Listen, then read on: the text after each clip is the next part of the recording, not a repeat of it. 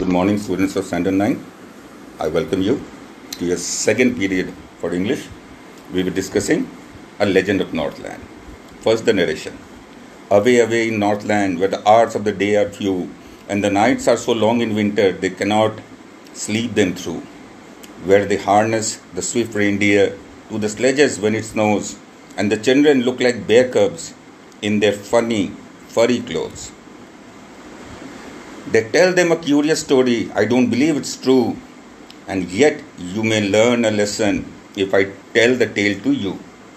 Once, when the good Saint Peter lived in the world below and walked about it preaching, just as he did, you know, he came to the door of a cottage in traveling round the earth where a little woman was making cakes and baking them on the hearth and being faint with fasting, for the day was almost done, he asked her for from her store of cakes to give him a single one. So she made a very little cake, but as it baking lay, she looked at it and thought it seemed too large to give away. Look at the cakes. It seemed to her that they were too large to give away.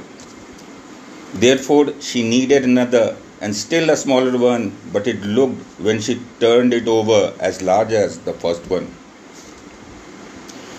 Then she took a tiny scrape of dough and rolled and rolled it flat and baked it thin as a wafer, but she couldn't part with that. For she said, My cakes that seem too small when I eat of them myself are yet too large to give away. So she put them on the shelf. The good uh, Saint Peter grew angry for he was hungry and faint, and surely such a woman was enough to provoke a saint. And he said, You are far too selfish to dwell in human form, to have both food and shelter and fire to keep you warm. Now you shall build as birds do, and shall get your scanty food by boarding and boarding and boarding all day in the hard dry wood. Then up she went through the chimney, never speaking a word, and out of the top flew a woodpecker, for she was changed to a bird. She had scarlet cap on her head, and that was left the same, but all the rest of the clothes were burned black as coal in the flame.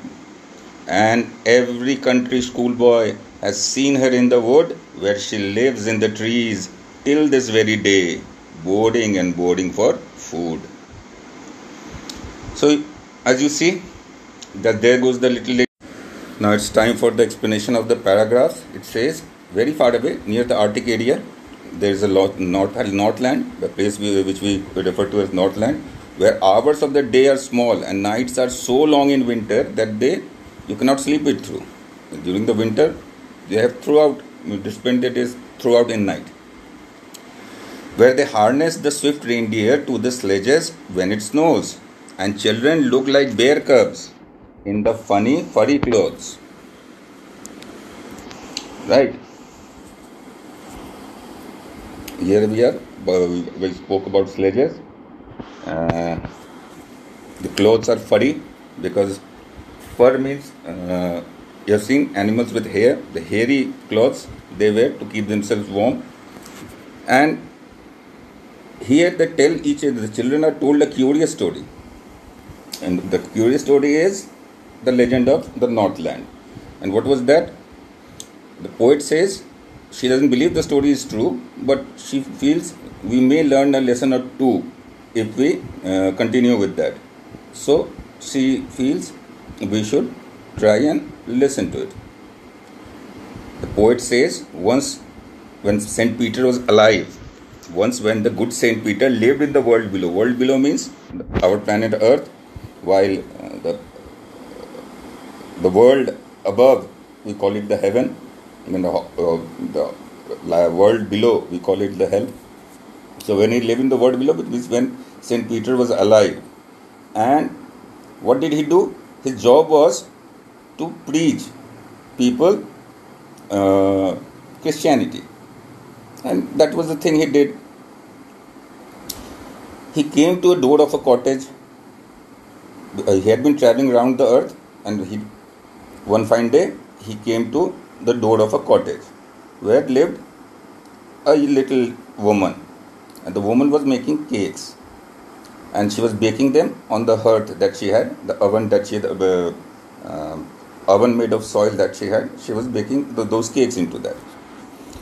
What happened after that was the good old Saint Peter, as we see here, this is Saint Peter. He requested her that he was weak because he had been fasting, he had not eaten anything for long days. And the day was almost over, so he asked her from store of cakes to give him just one single piece of cake. That's what he wanted, nothing much. Not so difficult to understand. So, what did the lady do? She made a very little cake and put it to bake. And when once the cake was baked and she looked at it, she realized it was too large to give away. It was not small enough to be given. So, what did she do? She kneaded uh, another roll, an even smaller one. Then, after it was baked, it seemed that it was as big as the previous one. Then she took a waste of scrap, waste, a waste dough, and rolled it flat like a wafer, papad. But even that one, she wasn't able to give it away to our uh, good Saint Peter. She wasn't able to give that away to our good old Saint Peter. She then asked herself, when I try to eat my cakes, they seem so small. But when I try to give them away, they seem so big that I shouldn't be giving it away and I should be saving it with my shell.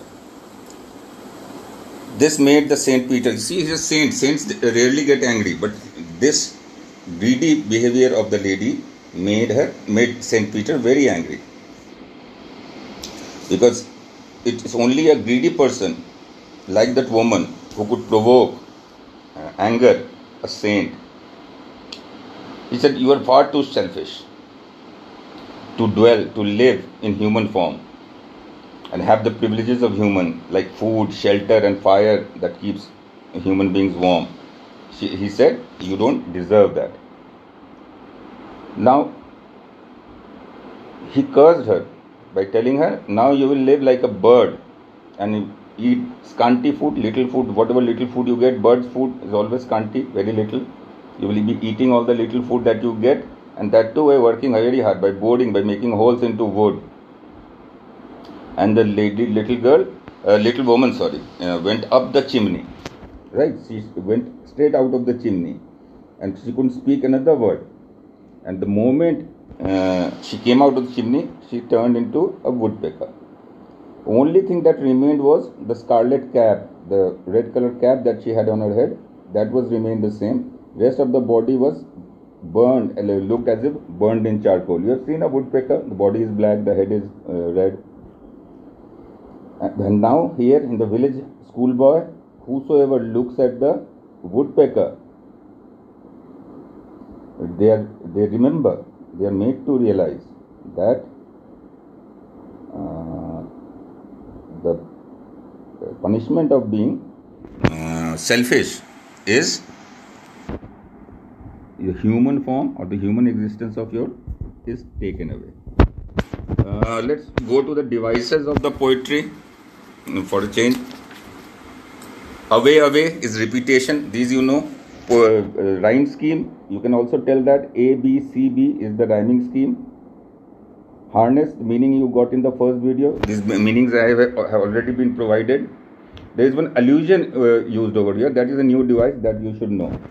Allusion is when a direct reference is made to a historical a mythical creature or a species or a tribe. Where direct reference is made. When i say look at the tiger in a poem it's a general um, mentioning of tiger. But if i say look at the bengal tiger then i am uh, pointing at such a particular breed. So that device would be allusion.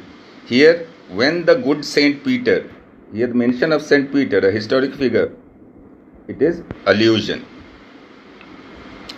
Faint with fasting, we know it is alliteration like where repetition has been used numerous times in this other than that uh, mm, sledges when it snows again allusion right so we think we have covered the devices. Whatever else remain we will do in the uh, complete it in the final video. Uh, in the final video we will also take up the question answers of this chapter. Till we meet again goodbye